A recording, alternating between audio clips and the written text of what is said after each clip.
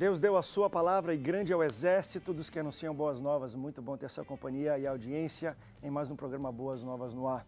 Hoje nós vamos ter um programa musical muito bom. Eu não vou apresentar ainda a nossa convidada de hoje, fazer um pouco de suspense e vou para a nossa central de semeadores. A gente sempre começa Boas Novas no Ar falando e agradecendo a você, semeador, que sustenta a Rede Boas Novas e faz ela crescer.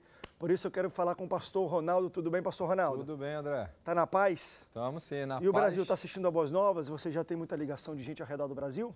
Isso aí. Temos aí o Agnelo Pereira, lá de Manaus, Amazonas, participando com a gente. E também a dupla jovem Lia e Rebeca, de Boa Vista, Roraima. Olha Lia e boa, né? Rebeca. Né? Pois é, Lia e Rebeca são a dupla jovem de, de cantoras lá da igreja e tudo mais, né? E elas estão muito, com, com muita vontade de aparecer na Boas Novas.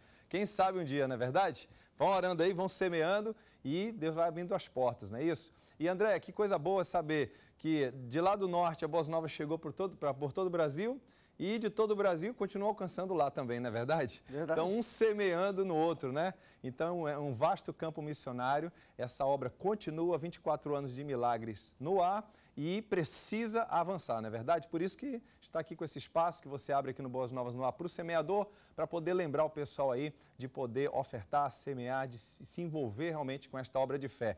E eu aqui aguardando a ligação, o zap, o e-mail, o pessoal entrar no site também aí.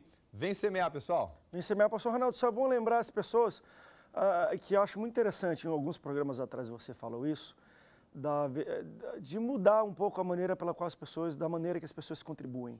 Muita gente ainda tem aquela questão de boleto bancário, acho que a grande maioria, não é isso?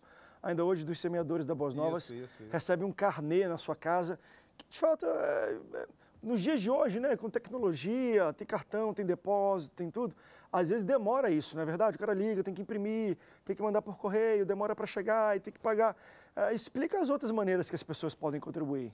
Então, André, de forma bem prática, simples, é agora ofertar através das contas bancárias que estão passando aí no vídeo durante todo o programa. São as duas maiores redes bancárias do Brasil, então não vai existir uma cidade, um bairro uma localidade que não tenha uma dessas agências, com certeza. Mas lembrando também que hoje está super prático fazer transferência é, entre bancos, né? Que não são, não são a mesma, a mesma linha bancária, na é verdade. Ah, e está tá tudo muito mais fácil. E prático porque tem os aplicativos, né? De celular, de tablet, tá certo, gente? Ou então entrar agora no site da Boas Novas, lá no link de semeadores e o pessoal oferta através do PagSeguro também, prático, rápido e com muita segurança.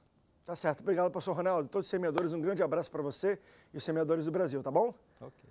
A paz, amigão. Eu quero também mostrar para você que semear na Rede Boas Novas não é apenas no crescimento, né? Ah, claro que a gente dá uma ênfase, ah, estamos no local aqui, estamos com um canal ali, mas a gente pode investir também em boa produção. E uma coisa que sempre eu amei, e agora eu sou pai, foi produzir coisas para crianças. A Boas Novas tem uma paixão por produção infantil, a gente entende que temos que fazer coisas de boa qualidade, competitivas e com o conteúdo cristão, que edifica a criança é, desde o seu início, desde quando é bebezinha. E a Boas Novas está lançando agora um novo projeto, Missão Arpa, para ensinar, olha você, harpa cristã para as crianças. Se você acha que era difícil, a gente fez um desenho animado com 10 músicas, 10 hinos da harpa cristã, um enredo maravilhoso que eu quero apresentar para você agora. Veja só.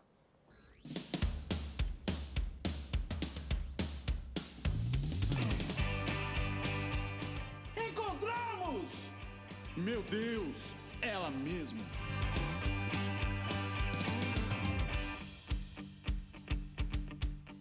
E o encontro dela nos deu a certeza do que estávamos buscando. Uma prova da nossa fé. Nossa, vovô, eu adoro ouvir essas histórias. Só me faz querer começar logo nossa missão e completar esse quebra-cabeça inteiro. Ei, Theo, você tá preparado mesmo?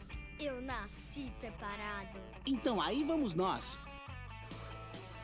Uou! Meu Deus! Já estamos viajando pelo tempo. Esse grande dia, vamos poder resgatar uma parte importante daquilo que o mundo perdeu. A essência do primeiro amor. Eu senti, Vini. Eu senti de verdade. Eu senti o Senhor limpando meu coração.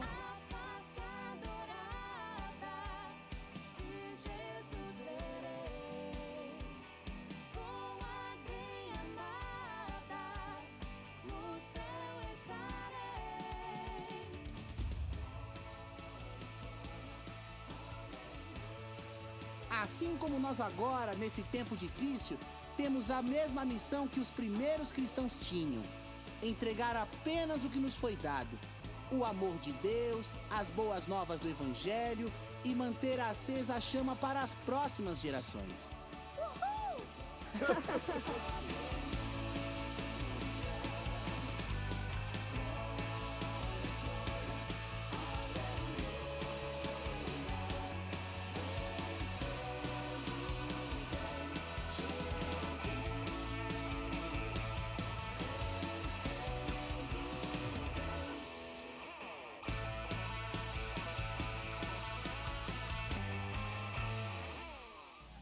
fazer de novo? Please! Esse é o Missão Harpa, tá bom? Olha só, eu sei você, papai, você, vovô, está nos assistindo, gosta dos, você gosta dos hinos da harpa. Você vai comprar para o seu neto, mas você compra dois, porque eu sei que você vai querer ficar ouvindo no seu carro, tá bom? Está disponível em todas as livrarias cristãs do Brasil e em todas as plataformas digitais, todas. Gratuitamente também no YouTube, mas você pode ver no Netflix, comprar no iTunes e todos os outros que você tiver acesso, tá bom? Eu vou para um rápido intervalo na volta a gente vai cantar muito com a cantora Grazi Maia, eu volto já já.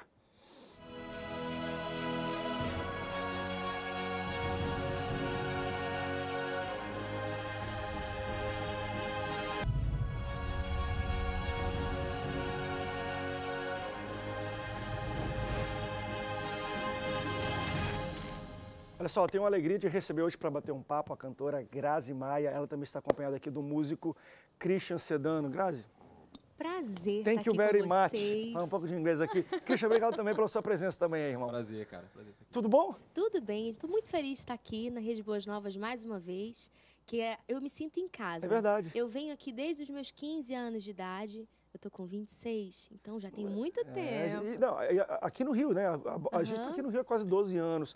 Desde o início você vem acompanhando mesmo aqui o crescimento da Isso, Boas e Novas. eu é muito bom. louvo a Deus Que legal. por essa porta, eu louvo a Deus por essa casa tão maravilhosa. Agora, você co- co- começou a cantar até mais cedo do que isso, né? Você cantou, Sim, começou eu comecei a novinho mesmo, louvar né? com 8 anos de idade. Aí, com 10 anos, eu fiz um, meu primeiro CD, que não foi é, meu, mas eu participei Uma de uma coletânea. É, É, sabe aquelas revistinhas de escola dominical? Uhum. Então, eu participei gravando 10 canções no CD que ia junto com a revistinha da escola Legal. dominical para a Assembleia de Deus. Co- Tu lembra da música, não? Ai, mais ou menos, eu escondo. Ó, Pega o Missão Harpa, deve ser uma dessas, porque se a Assembleia de Deus é harpa. Não, tô brincando, tem, tem muitos hinos e corios e tudo mais. Ficou Com bonito 10 o projeto, anos. ficou bonito, mas assim, já faz Tu, muito tu- tempo. tu tem ainda? É, f- Eu Foi CD, tenho. claro, não, não é muito tempo. Foi em CD. Eu tenho na ia- minha já ia falar casa. LP. Eu falei, não, não, não vou fazer isso com a Graça, não. ah, tu tem em casa? Tu ouve Eu de vez em quando pra, casa. pra lembrar? Muito de vez em quando. De onde Deus te tirou, de onde Deus te colocou, aleluia. tu E tem é vergonha um pouco? passando Tu- tu- tu- te- eu sou um pouco assim, por exemplo, faço pro- esse programa é diário. Aham. Eu tenho vergonha de assistir o programa. Até hoje. Eu tô, sei lá, 10 anos na Aham. televisão. Quando eu tô sozinho, eu assisto. Mas quando assim, tem uma galera. E o pessoal liga, pô, vamos ver o programa. Eu, eu- eu me sinto desconfortável. É Você sente assim? casa, eu me com a sinto tua assim, música? Sim, É. Às vezes eu, al- alguém me filma pregando. E aí eu vou assistir aquilo, eu fico incomodada. Se eu estiver sozinha, tudo bem. Mas Tá se tiver boa, minha né? mãe, meu pai. Quantas vezes eu Vamos falo, analisar. mãe, pelo amor de Deus, põe o fone de ouvido. Porque ela começa a escutar as pregações alto lá em casa, todo mundo escuta junto. Eu falo, mãe, por favor, põe um fone, porque eu não gosto muito de me ouvir. Mas acho que isso é. Tem alguma explicação científica sobre isso. Deve, deve ter. Essas- Porque eu olho e fico olhando para os outros para ver a reação. Aí se ele mexe no celular, "Epa, pode, tá- me prestigia aí também. Eu tenho vergonha, mas não tenho ao mesmo tempo. Va- Vamos cantar uma coisa. Já que tu não lembra quando gravou do- 10 anos, mas depois, depois com 12, tu já, aí, Eu eu já comecei a fazer alguma coisa, isso. não foi? Com 12 eu gravei meu primeiro CD solo, que foi Te Dou Meu Coração. E eu quero louvar então um pedacinho dessa canção, Ah, a gente precisa, vamos que ela lá. é uma tradução do Hilson. Ah, legal. E aí a gente fez naquela época e foi uma benção. Show, hein? Com Vamos 12 anos, adorar. fazer a tradução do Rio, legal?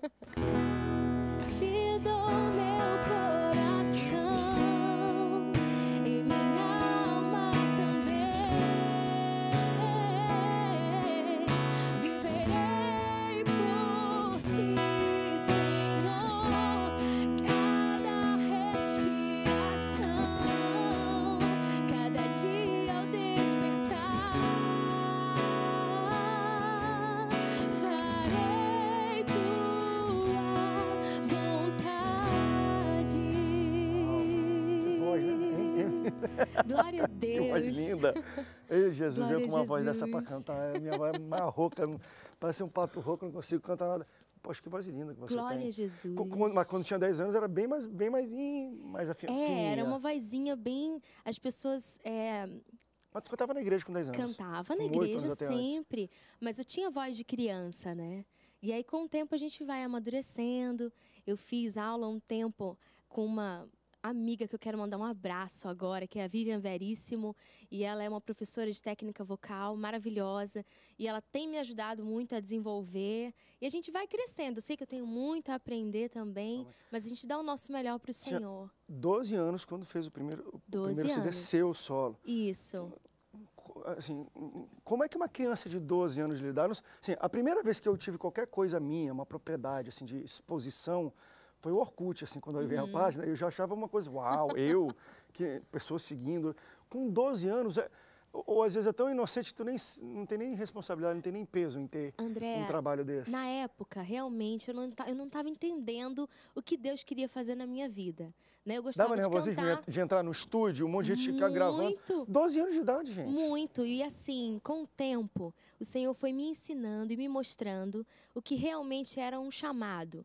Porque eu não tinha ideia do que era o meu chamado. Eu queria cantar, mas saber o que realmente é aceitar o chamado de Deus para minha vida, Uau. isso aí foram com as experiências, isso aí foi com o tempo, com a trajetória, é que eu fui entendendo que Deus realmente queria para mim, que não era só cantar, não era fazer sucesso, não era, o Senhor queria que eu tivesse um ministério, um chamado, alcançasse vidas, que eu entendesse que tinha uma responsabilidade grande, que eu tinha que abraçar aquela responsabilidade, não é brincadeira, mas que vale a pena. Uau. E eu fui aprendendo na caminhada e eu comecei a viajar bastante no projeto Celebrai, da Rádio Melodia na época. Uhum, E eu uhum. conheci várias pessoas e uma delas que eu conheci foi a pastora Fernanda Brum, que abraçou meu ministério. E ela foi me discipulando, e ela foi começou a me ensinar, Grazi, você tem que se vestir dessa maneira, você tem que se portar assim. Ela começou com a experiência Boa dela. professora você Boa teve. professora. e Deus tocou no coração dela, e do Tadeu Chufi. Tá desde sensacional. Ele é uma benção. Ele e a Nana são pessoas muito queridas. Nessas viagens, na minha adolescência, quando eu tinha 15 anos, que eu os conheci, e aí Deus tocou no coração deles, e eles disseram: Nós vamos abençoar o seu ministério e a gente quer poder fazer um CD para você. E eles fizeram um CD, me deram de presente, eu sou muito grata, que foi o Bálsamo. Só que nesse processo, nesse, nesse mesmo tempo, eu passei por um processo com o Senhor, porque eu entrei em depressão. Uau. Entrei em depressão porque entrei numa crise existencial na adolescência, que muita gente passa, mas ao mesmo tempo por causa do ministério. Eu Se comecei. eu, se eu gravasse hoje um CD, eu acho que eu entraria com toda a estrutura de, né, de 33 anos, um CD. Né, 12, 15 anos já tinha dois foi- não, é, Com os- 15 eu tava com dois, com três dois CDs, né? Enfim, Isso. viajando e cantando. Isso. É, é- é muito jovem. é- tem- Eu era muito jovem e eu precisava entender o meu chamado. E eu comecei a ver muitas coisas nessas viagens, porque a gente precisa estar com o nosso olhar no Senhor Jesus, né? Se a gente olha para as pessoas, hoje eu entendo isso, mas antigamente eu não entendia. Se a gente deposita a nossa confiança nas pessoas, a pessoa é falha, ela vai errar e você vai se decepcionar. Só que eu não sabia disso. É então, nessa caminhada, eu comecei a ver muitas coisas que entristeceram o meu coração dentro mesmo da, da igreja. E aí eu estava um pouco em crise, porque eu não entendia como aquelas pessoas que se diziam servas do Senhor tinham atitudes completamente contrárias à palavra de Deus. E eu era só uma criança, uma adolescente, sabe? Aquilo começou a virar uma salada na minha cabeça. E eu dizia, Deus, eu tenho feito a minha parte, eu tenho pagado o preço, e as coisas parecem que são mais difíceis, são mais devagar. E eu passei por esse processo de depressão.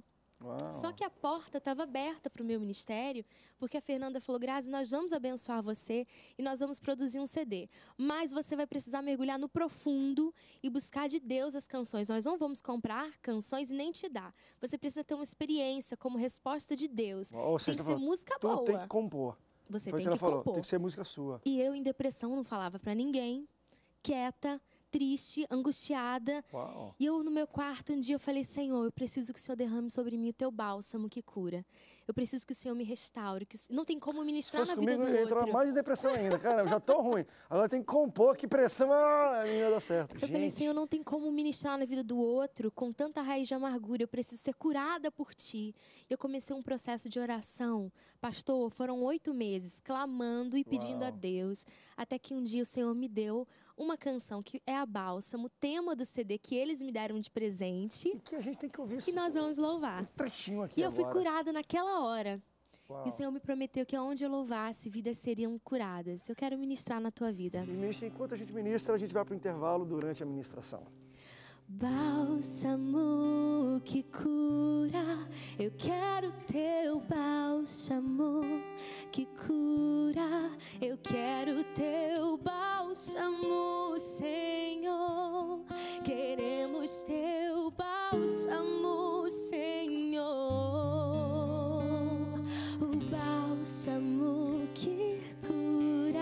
Eu quero teu bálsamo que cura. Eu quero teu bálsamo, Senhor. Queremos teu bálsamo. Ele vem retirar agora. Ele vem retirar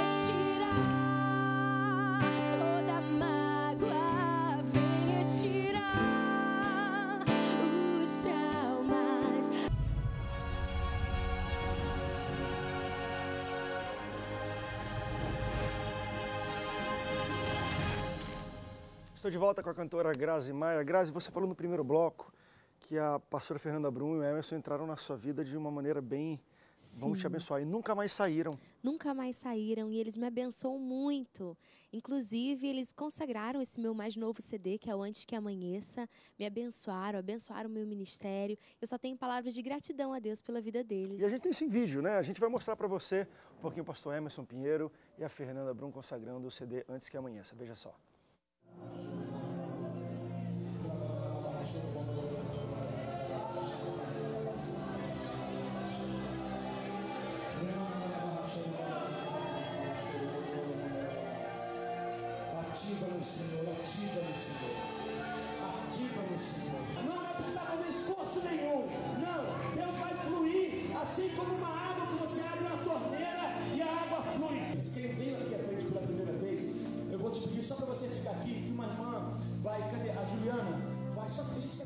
foi, foi um negócio foi bem, bem profético, Foi forte, demais, com a hein? Glória de Deus. Foi uma surpresa, na Uau, verdade. que lindo. é, eu avisei para ela que eu estava indo fazer uma visita. Ela falou: então vem preparada para cantar. Eu já chamei os meninos da banda, nós fomos todos preparados. E chegou lá, ela disse: Grazi, hoje nós vamos consagrar o teu CD e vamos orar e ministrar sobre a sua vida. Foi um presente de Uau. Deus. E eu saí de lá assim, maravilhada. Ah, vamos ver um pouquinho do resultado também desse trabalho. Eu quero Amém. mostrar para você aqui na Boas Novas a música Antes que Amanheça, né, que já leva o nome ao CD. Veja só.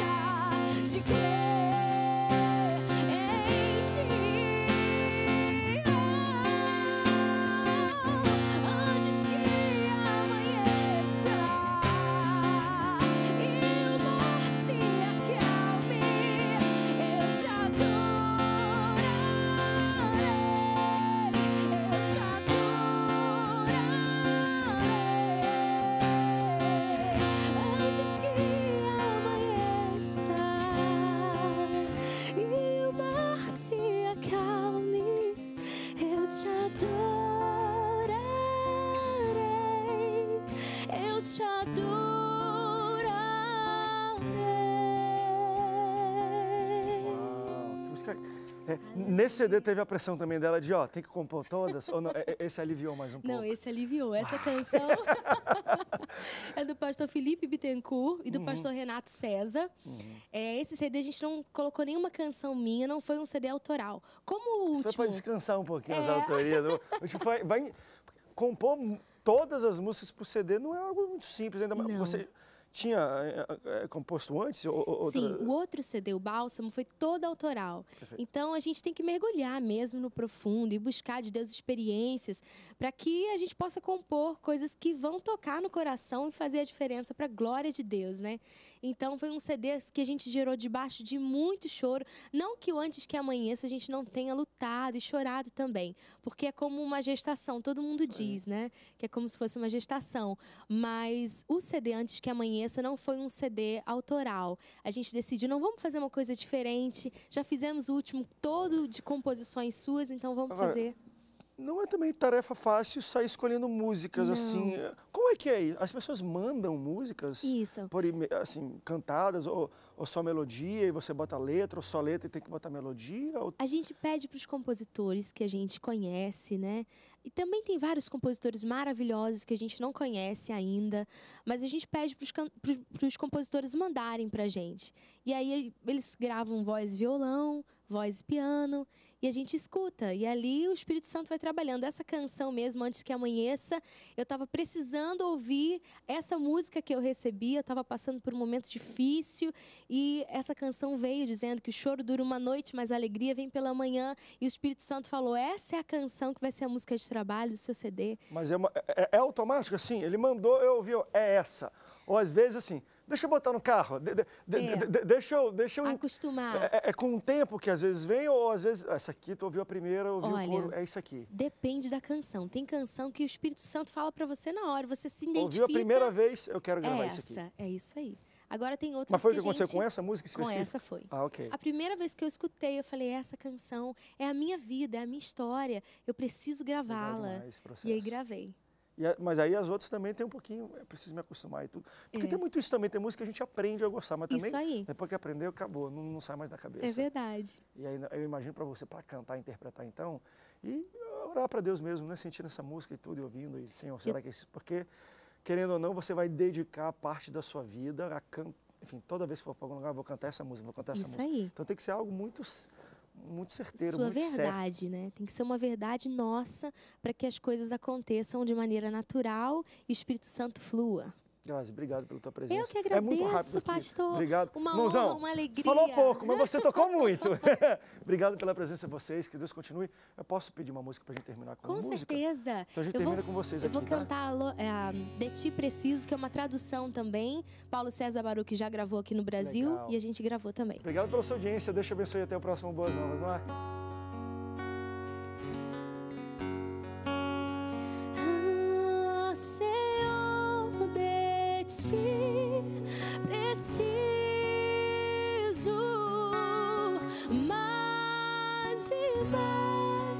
Preciso.